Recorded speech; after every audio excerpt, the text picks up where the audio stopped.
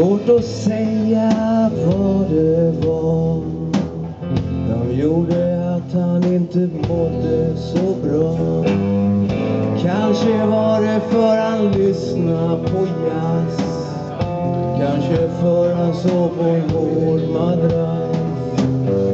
Svårt att säga vad det var. Han som alltid skulle protestera. Kanske hittade han ett annat sätt att leva. Kanske fanns det inte kvar någon att provocera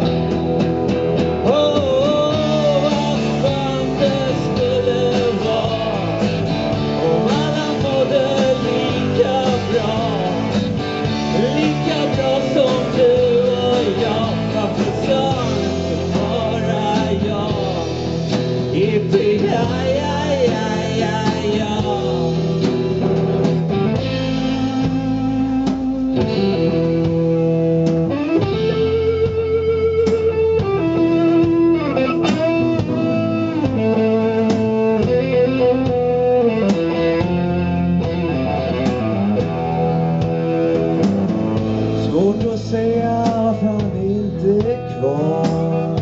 Varför han bara la av. Kanske vill han vara en mystisk figur. Kanske var det för han pratade med djur Har svårt att säga vad det var Som gjorde honom till någon han inte var.